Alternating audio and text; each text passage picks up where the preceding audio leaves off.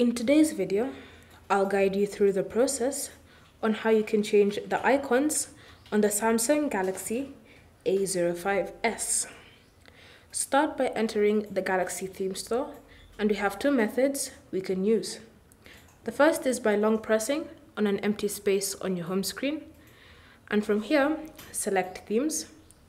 The second is by opening the second settings app and from here scroll and tap on themes. Either way, you'll be redirected to the Galaxy theme store. And from here, select the category labeled icons. And you should see all different kinds of icon themes you can apply to your device. So select one that suits your needs. And once you've selected it, tap on download and wait for it to be downloaded. Once it's been downloaded, tap on the button labeled apply and wait for it to be added to your device.